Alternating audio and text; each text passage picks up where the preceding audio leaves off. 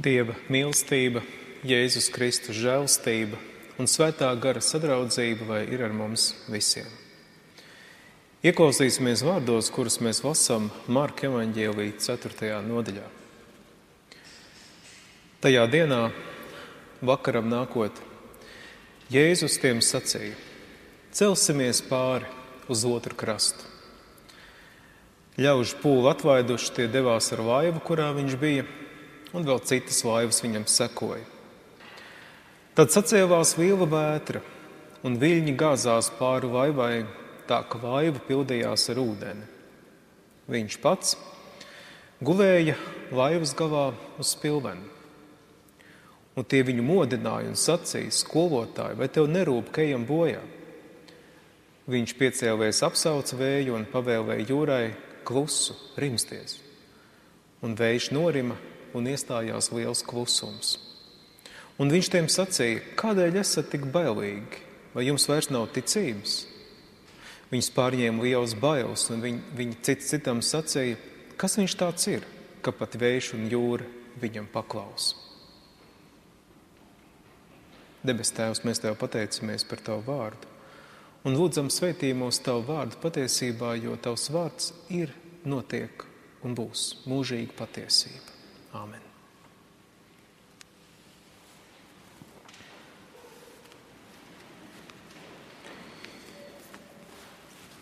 Nevaru noliegt.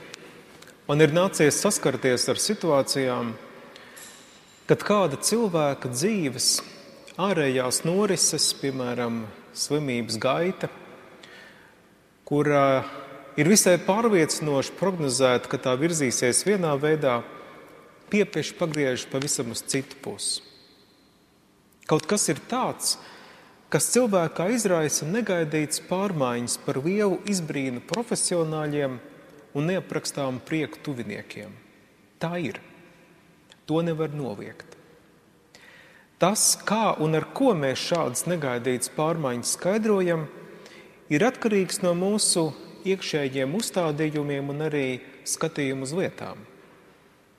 Patiesi liels ir kārdinājums to redzēt kā kādu īpašu augstāku spēku iejaukšanos, jā, gandrīz vai kā šajā notikumā uz Ģeneceretes ezera, kad Jēzus piecēlies, apsauca vēju un pavēlēja jūrai klusu rimsties.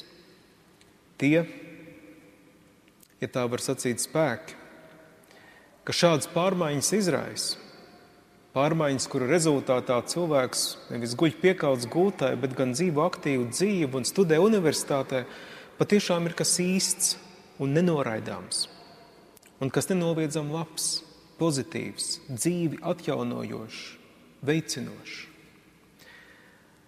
Tas, kādu vārdu mēs tam dodam, ir atkarīgs no mūsu garīgā pasaules uzskata. Un tas, kas mani dara piesardzīgu un apdomīgu, Tūdaļ identificēt šīs pārmaiņas ar Jēzus iejaukšanos arī ir kāda dzīves pieredze, kāda ir nemazums cilvēkiem. Tāda pieredze, kas vēstīja, ka vai arī ir cilvēki, kuri šādas pārmaiņas piedzīvo.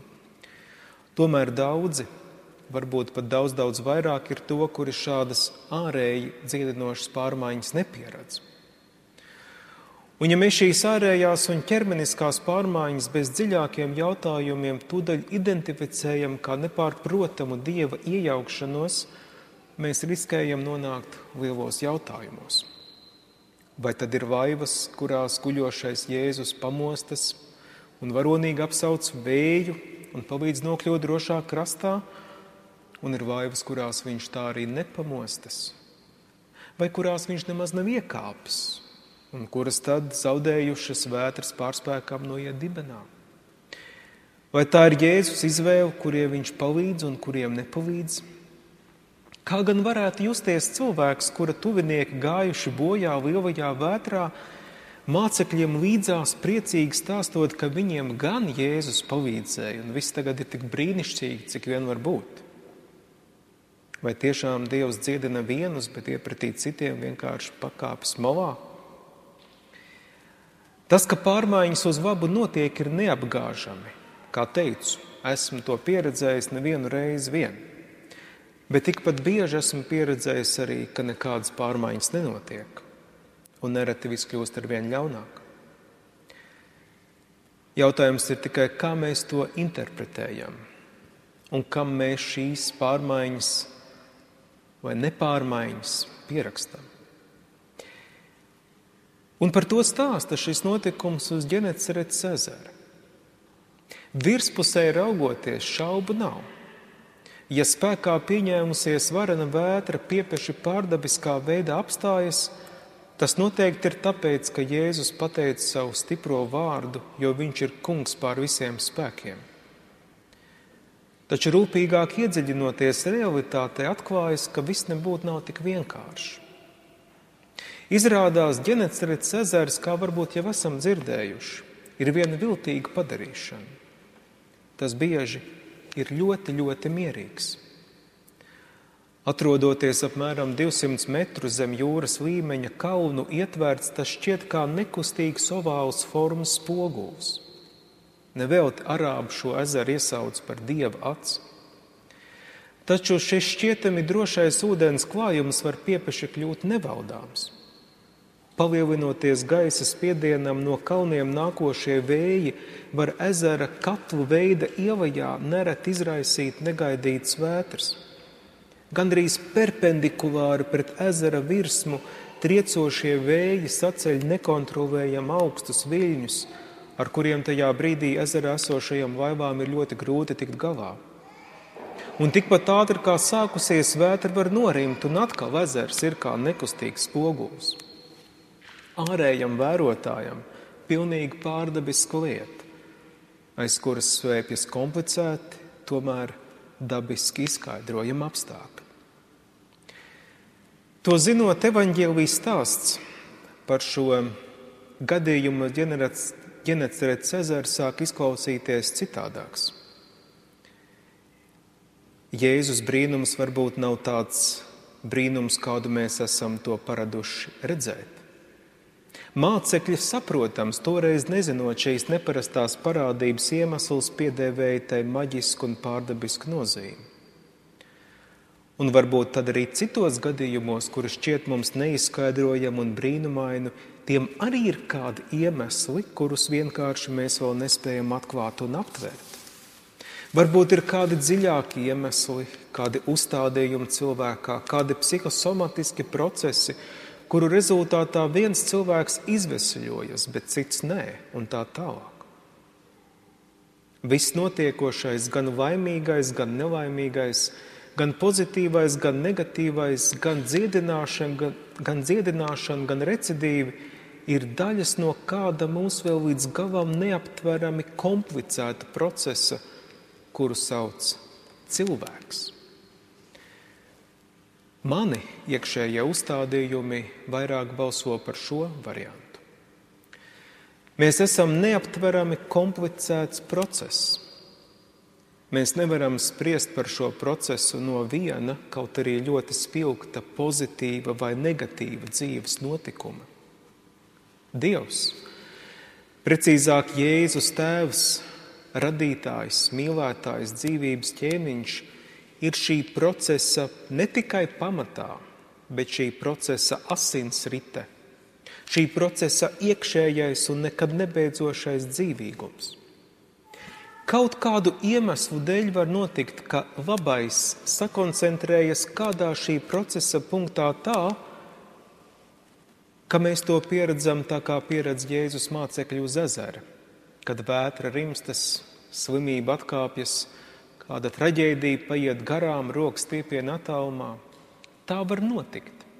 Bet parasti, jā, parasti, kas nebūtu nav sliktāk, grūtāk vai nepareizāk, šis labais izkliedējas daudzos notikumos, punktos, izstiepjas garās līnijās, un mēs to, kā cilvēki ar savām ierobežotajām uztveres spējām, piedzīvojām mazāk intensīvi un varbūt kādreiz mums šķiet, ka nemaz.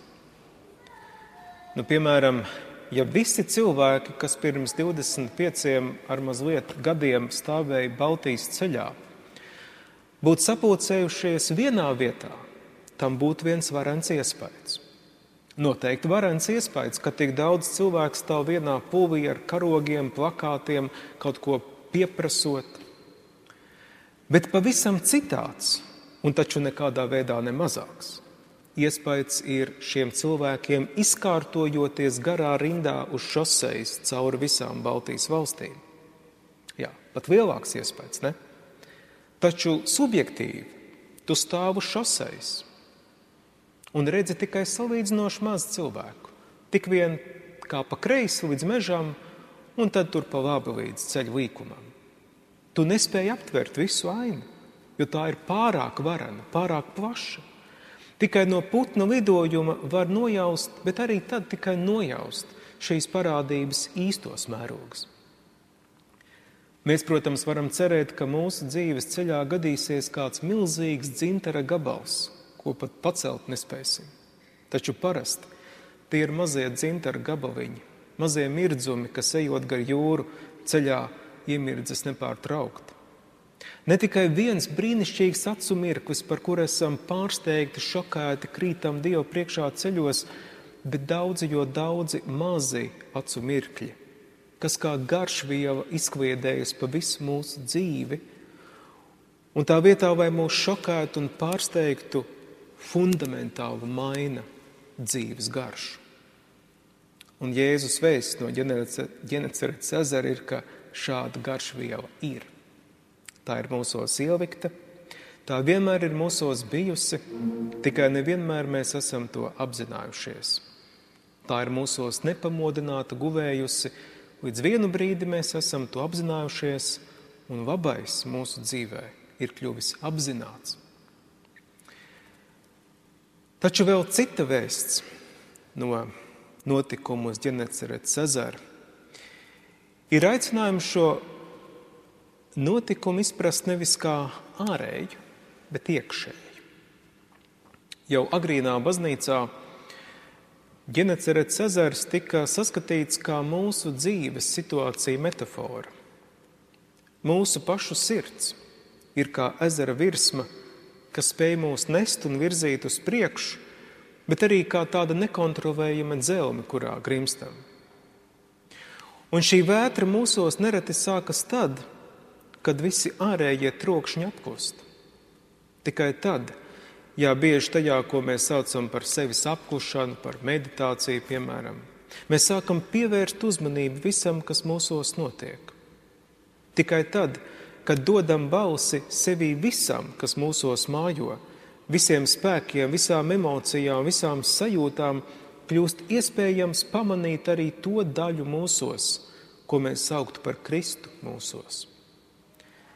Nevis izvairoties un noliedzot, bet pieļaujot un sastopoties ar visām bailēm un nonākot pie dzīves realitātes pieņemšanas, atklājas, ka mūsu mazajā vaiviņā īsajā un satraucošajā dzīvē ir kāds avots, kurš var palīdzēt tad, kad nekas vairs nevar palīdzēt. Nec ārsti, nec padomi. Ka ir kaut kas, kurā mūsu dzīve ir noenkurojusies. Ir kāds dziedināšanas ceļš, kurš bieži nav redzams tveramajā pasaulē, bet derīgs mūžībai. Un šo ceļu iemieso vaivā guļošais uz spilvena Jēzus. Pret vētru nedara ne bībeles citēšana, ne mūsu izmisīgie, laicīgie un garīgie pūliņi, bet gan ļaušanās tam mieram un klusumam, kā tēls ir vaivā guļošais Jēzus. Caur nekā nedarīšanu tiek izdarīts galvenais. Kā viens ir teicis, neko nedarot, nekas nepaliek neizdarīts. Un tas ir līdzīgi kā reaģējot, piemēram, uz rejošu suni. Kad tas stāv tur ielas malā nepiesiets un uz mums rej. Tad labākais, ko var darīt, ir nedarīt neko. Vienkārši to ignorēt. Ja mēs iedomājamies, ka ar kaut kā darīšanu mēs uzlabosim savu situāciju, visticamākais to darot, situāciju sarežģīsim vēl vairāk. Ja mēs mēģināsim skriet, viņš mūs panāks. Ja mēs riesim pretī, tikai viņu satricināsim. Ja mēģināsim viņam kost vai uzbrukt, nedomāju, ka tā būtu laba doma. Vienīgais, ko varam, ir vienkārši iet garām, mierīgi iet garām, un visticamākais tieši tad arī nekas ļauns nenotiks. Un tieši tā ar visām lietām. Katram no mums ir jāmācās savaldīt šo sevī mītošo zvēru. Mēs varam no šī zvēra mukt, ar viņu cīnīties, tam kost, uzbrukt, apelēt pie tā sirdsapziņas, citēt viņu priekšā Bībeli, cerībā, ka ar tā visa palīdzību mēs piespiedīsim sevi kļūt labākiem, pareizākiem, morāliski pilnīgākiem. Ja mēs spiežam sevi kļūt paklausīgākiem, mīlošākiem, čaklākiem, taču cik bieži mēs tādā veidā vienkārši tiranizējam savu iekšējo būtību un viss kļūst tikai sliktāk. Un jo vairāk mēs cenšamies šo zvēru pieredināt, pieķēdēt, jo vairāk tas ārdās. Vienīgais, kas darbojas, ir sākt šo zvēru mīlēt. Jēzus mīl šo vēju un jūru. Viņš vienīgais tāpēc ir nonācis tik tālu, ka tā viņam vienkārši paklausa. Bet paklausa ne tāpēc, ka Jēzus būtu īpaši biedējošs, draudošs vai lielāks zvērs nekā briesmīgi trakojošā jūra. Nē, jūra Jēzum paklausa tāpēc, ka Jēzus ar to pirms tam jau visu mūžību ir runājies, runājies, draudzējies, mīlējis. Tās ir attiecības, tā ir mīlestība. Un tāpēc viņš var tā mierīgi gulēt un īstajā brīdī vienkārši pamosties un teikt, klusu, rimsties. Un tas darbojas. Jo tā ir tikai niecīga daļa no tās lielās sarunas Jēzum ar jūru un jūrai ar Jēzu, kas ir atnākusi līdz mums. Mums vienkārši jāsāk sarunāties ar to daļu mūsos, ar ko cīnāmies. Jēzus ar to jau sen sarunājas. Mums vienkārši ir jāpiebiedrojas tai sarunai, uzticoties un nebaidoties. Āmen!